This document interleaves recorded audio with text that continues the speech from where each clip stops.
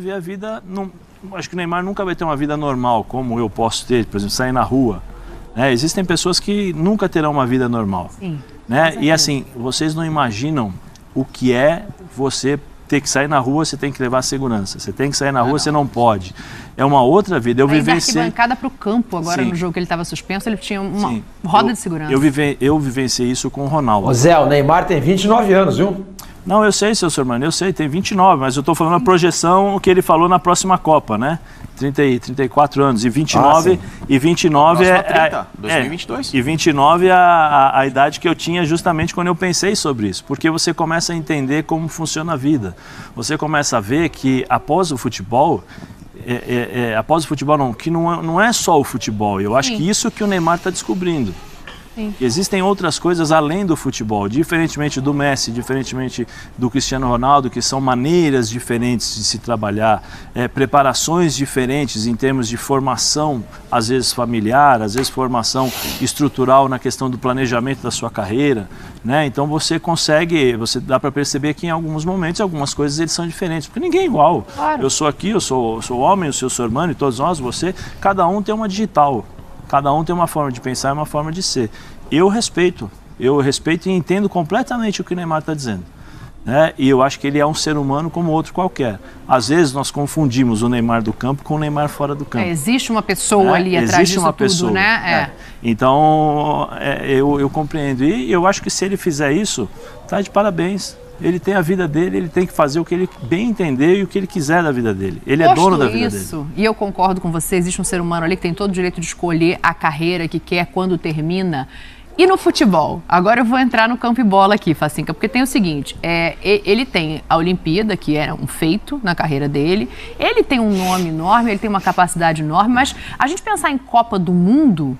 No ano que vem, não parece uma coisa tão simples assim o Brasil ganhar uma Copa do Mundo. Não que seja impossível, mas não parece o caminho que está sendo desenhado pelo que a gente vê de qualidade de bola da seleção. A gente fala isso aqui em vários momentos. O Neymar parando depois da próxima Copa sem a Copa. Isso. Não sei se encolhe a palavra, mas isso ah, deixa de torná-lo ainda maior? Bom, a Copa seria o peso que muita gente coloca na responsabilidade dele, sem que, pra mim, ele tenha de assumir essa condição. Porque ganhar uma Copa do Mundo é um coletivo. Muito se fala, ah, porque o Romário ganhou nas costas, porque o Pelé, não.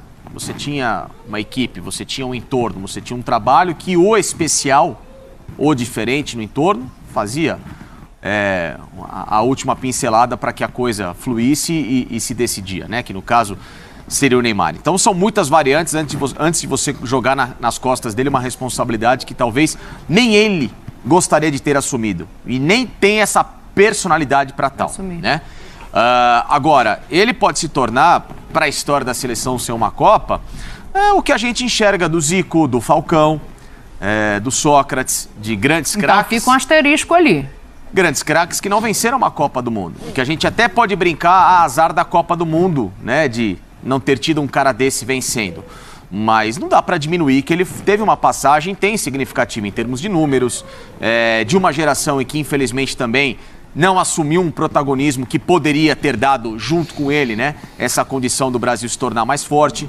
Um treinador que hoje trava a seleção brasileira, que não está preparado e se mostrou hoje à altura de não estar a seleção brasileira cada vez menos se mostra crível em relação ao que ele pode apresentar em termos de mudança, que é o Tite. Então é um conjunto de situações que pode fazer com que o Neymar, infelizmente, não erga uma Copa do Mundo.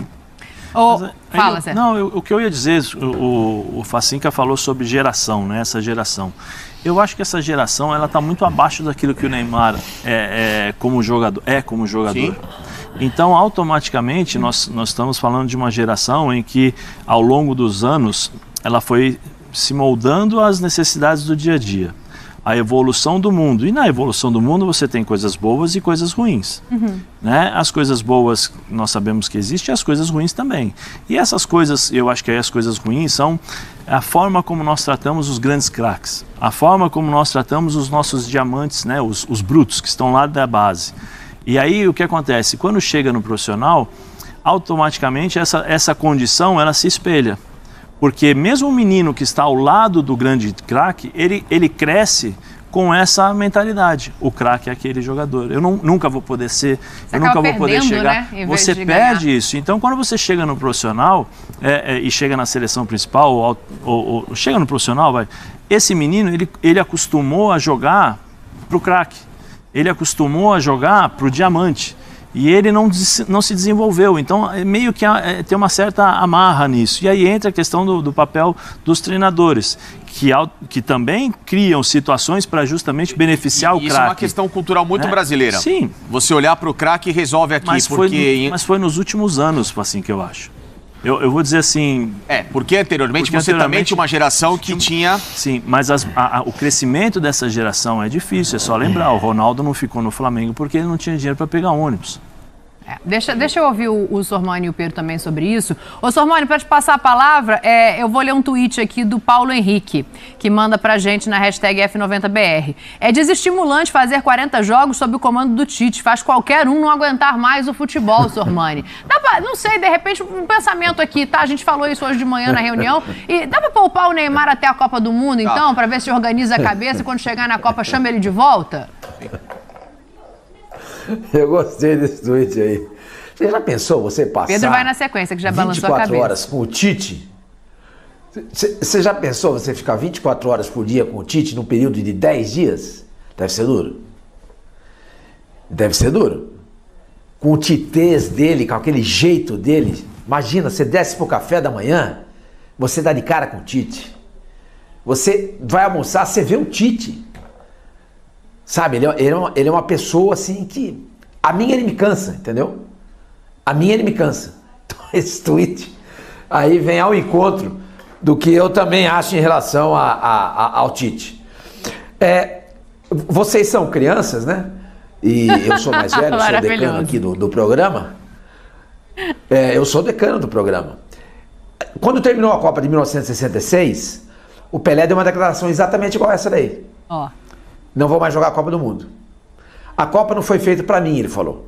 Porque ele jogou a de se- a É, o Messi 58 deu uma declaração dessa também, né, Sormani? Sim. Não, bom, é, é, é, também, também. Então o Pelé joga de 58 é campeão. A de 62, ele machuca no segundo jogo, ele faz um jogo e meio e um gol contra o México e não joga mais a Copa do Mundo. Ele fica no banco sentado o tempo inteiro. E em 66